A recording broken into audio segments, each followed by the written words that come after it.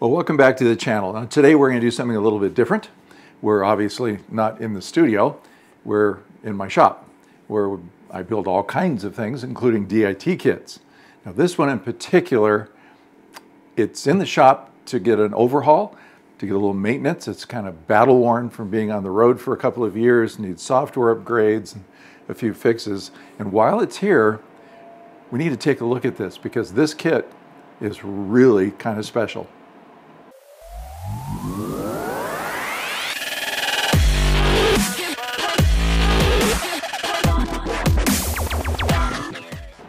Well, if you've had a chance to get the digital imaging textbook and look it over, you'll notice that there's quite a number of chapters in here that are on um, things you th should think about when you build a DIT kit and um, selecting software. All right, it, it's a chunk of this book because it's a pretty important decision. So, the considerations for this particular kit by the DIT was that it wasn't supposed to be a do-all kit. It was going to be very specific to one job task, and that's the data manager. In other words, the person that offloads those digital cards from the cameras and backs up the data using checksumming software. That's really all this kit is set up to do. Well, it can do another thing as well while it's backing up. It needed to have the function to back up not only to hard drives or a drive array, but it also needed to back up to LTO tape. And that is a wrinkle that really drove some of the decisions in making this kit. So we know that to back up data, we don't need a super expensive and a super high performance graphics card because the processing and the moving of files is really done through the CPU and not a GPU. So that allows us to have maybe a little less expensive computer. We're not, we're not worried about the graphics side of it. We're worried about backing up files, although we do need to drive a monitor to see what we're doing. Needs to be able to handle the software that we've chosen. But the issue with the LTO tape is kind of a wrinkle that, that, that really needed to be worked out. Because the LTO tape machine is driven by a card, a special interconnect card that has to go into a computer. Now, having a card um, in a Mac-based environment becomes a bit of a problem. You can't put them in your laptops. And uh, really, the only ones that you can really dump a card into are the Mac Pros, either the older ones or, of course, the new, very expensive ones. The LTO machines uh, have a special connector on the end of it that's not commonly used by the average person with a computer. Now you can understand LTO tapes came out of the data center uh, environment and these guys have a whole different connector scheme and a whole different goal that they're trying to do and so there are connectors and cables and, and formats that are very specific to data centers but we can move those into our realm as well.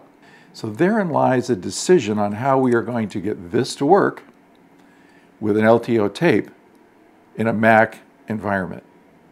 So another wrinkle in the decision-making process, all right? So how did we solve that? But before we lift up the hood and see what's inside the box, let's talk about the box itself, right? This is a repurposed Roadie box. It is actually meant for audio mixers, the mixing consoles. So if you look these up online for a mixer console Roadie box or travel box, you're going to find this design. And so what it was set up to do is that this lid comes off and inside of here is a mixing console. And then the back area here comes off and we can plug in all of our mic cables and various input cables on the box. And then the front comes off as well. All right. So that basic design seemed to be a good starting point. One, these are really rugged. Uh, they're going to take some abuse. They have handles on them. They're somewhat weather tight. They're not waterproof like a Pelican case. They don't have the seals around the edges. But we tend to want to take care of our equipment and keep it out of that environment anyway. So what changes did we make in this case? Well, one of the first things we did is that where the hinge, the, the, the top was supposed to lift off, we hinged the top. so that the top would open up and stay where it's at. Why? Well, we're going to see in just a minute. And then we totally gutted the inside of the box and made uh, some changes that would make it a workstation that you could take anywhere and set it down. Now, this is one of the criteria from the DIT. They wanted a box. When somebody says, I need to have you do this on our set, we're kind of crowded, or you're going to be stuck in the back of a small truck or something. She wanted a box that was absolutely 100% self contained. All she would have to do is pick this box up and an extension cord, go to set, and she could be functioning. All right? So let's, let's, let's look inside of this. So, what we built inside of this box, or decided to do initially, was to put the monitor in the lid of the box. So when you tilted this up, your monitor was ready to go. And it needed some sort of a sunshade to kind of help it out. So using black foam core and some hinges, we built a sunshade that would block the monitor or extra light from being on the monitor. And up in the top of the case is an inexpensive monitor built into here. And all the cabling running down the side goes underneath to the computer. So very clean design. And then because this monitor had just terrible little speakers on it, we shoved a little speaker bar here onto the bottom. This top was put into here as a writing surface, but also it has some throughputs onto here. So here is the audio jack for extra headphones uh, to be put in here in the top. There's a USB 2 port on the top, which by the way is not generally used for data, but it's used to charge phones, is what it's commonly used to, or charging some sort of a device. There's also a little button here that changes keyboards. Now we'll talk more about that in a few minutes. Uh, underneath this monitor are pouches, uh, little zipper pouches that you can get, and they are uh, stuck onto here carrying all kinds of pens and pencils and extra cables. And in fact, the mouse for the case and for the, for the computer is stored up here as well. And then some nifty little pen holders here for your Sharpies and that sort of stuff. All right? So I'm going to walk around to the front side here. And we're going to take off the front of, we'll have access to some storage, but getting into uh, input parts of this unit. So inside of here is the keyboard. And it's mounted in foam, so it won't go anywhere. And we can simply take this out, move this panel aside, and now we have access to the card readers. So here is a couple of card readers. There's a third one missing right here, which is an all-purpose one. And this opening right here is for the LTO tape machine. So they can, can quite literally install the LTO tape machine and it's, it's ready to go right here in front.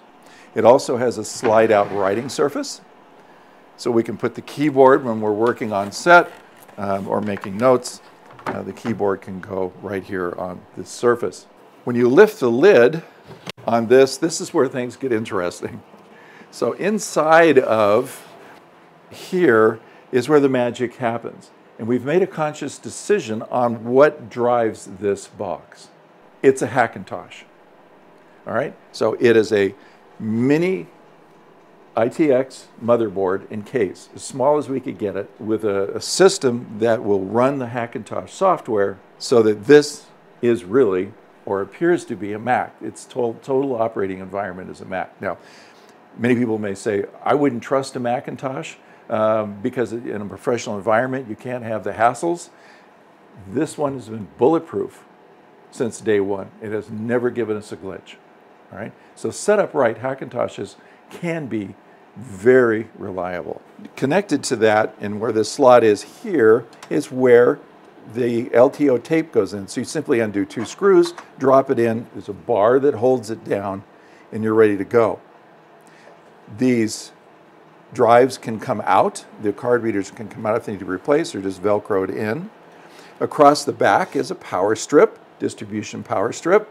There is a fan in the box to move air through the box as needed. Tucked in over here on this side is USB 3 hub with extra power so we can power other things. Another feature of this system is that there is an Ethernet connector between this and the main DIT box. Now, that means that the files that are downloaded on this system will go to a shared storage device like a NAS or an array. There's no more of that, let me borrow that drive so I can download assets. They're immediately shared between this and the full DIT system without all that sharing drive hassle, okay? Also here is that switch box that we were talking about.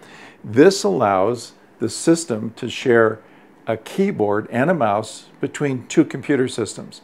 The DIT did not want two keyboards and two mice cluttering up the desktop. So by putting in this switcher, we can now push the button that was on the top and this keyboard and mouse will switch between the systems seamlessly. Up here we have a work light and this is just a flexible shaft work light that actually plugs right into this top uh, USB port we talked about for power. Very handy when you're one of those dark corners on set or you're on a night shoot. Give yourself a little extra light. And this bracket up here, that's for hanging your headphones, keeping them stored underneath. The bracket comes off, there's another Velcro mounting point on the side of the cabinet, so you can have your headphones hanging right there at the ready all the time. Well, a rather fun and unique system. Right, this really meets the needs of this DIT. When they're hired to do just data management, they don't have to bring everything. They just bring this box. Oh, by the way, the box has a name. This is Phoenix. The box it connects to with all the horsepower to do transcoding and processing the files for editorial, well, that box is called Dragon. I think you see a theme going on here. Both of these boxes are Hackintoshes. They run all the Mac software seamlessly. Another advantage is if you need to run Windows, this is basically a Windows PC that's in here. You can dual boot and go into Windows to do what you need to do there. So the decision whether to buy a turnkey system or to build one um, has some questions that need to be answered. So grab a piece of paper and a pencil and start writing stuff down. What's the system supposed to do? This system here is clearly designed to be a data manager system and not much more. Um, if you need color correction and heavy file processing, then that's a different system that you need to think about um, the needs of that system and designing it. Also the software that you're going to choose to run on the system. Does it run on Mac and Windows? I mean, do they offer both operating systems? Some only run on Windows. That will then dictate the computer that you're going to buy or build. Does it make sense to build your system on a cart? Or does it make sense to have it modular? This could be driven by your production. And a lot of productions, you could put all of your stuff built on a really nice roll-around cart, and it's easy to load on and off the camera truck and roll it up to where you need to go on set if you're in a studio. But if you're doing a lot of location hopping, that cart could be a problem uh, in getting on and off and set and where you need to go. And you may have to go to a modular system like this. What's your budget? You got to understand that because uh, these can blow a hole in a budget really quickly. Now, building your own can save you literally thousands of dollars. And you know the ins and outs of this system and can easily manage and fix it. Now, ask yourself as well, looking in the mirror, how comfortable am I in it with tools? And do I have access to a shop to build a system? Okay. While you're looking in the mirror, think about your computer ability because building a Hackintosh is not for a newbie. It's not for the faint of heart. There is some stress, there is some troubleshooting on a pretty low level that you have to do to get it up and running. Once it's up and running, they're very stable getting it that to that point can be very taxing if you're not comfortable under the hood of a computer. We chose the design of this system because of the LTO tape system. It had to have a card that went into a computer. But there's new LTO tape drives that have USB 3, USB-C, Thunderbolt uh, on them. So that really opens up the computers you could use. Uh, you could quite literally take out this Hackintosh and put it in an inexpensive Mac Mini and be ready to go. So that brings us to connections. What connections do you need on the computer and how many to hook up hard drives and hook up tape machines and lots of card readers and different types of card readers? You've got to pay attention to that when you're buying the machine. USB 3 at a minimum, as many as you can get. USB 3C, kind of the new Thunderbolt, that's even better because that gives you forward compatibility. Our motto is we need speed. We're going to move voluminous amounts of data under very tight deadlines. So those connections have to be solid and as fast as we can have them. Another consideration is how are you moving this stuff around? Now, if you have a pickup truck or a sprinter van or a fairly large SUV, you probably have the room to move one of these kits around. But if you've got a little compact car and just a trunk and a back seat, well, that is going to really mandate how much gear you can have, what it's going to look like. You have physical limitations there. I hope it's been helpful for you to have a tour of this unique kit and toss around some ideas about you building your own kit, what you need to think about. And as always, hope to see you on set.